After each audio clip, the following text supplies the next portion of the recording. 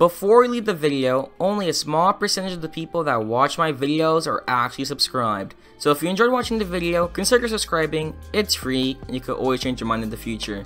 See you in my next video.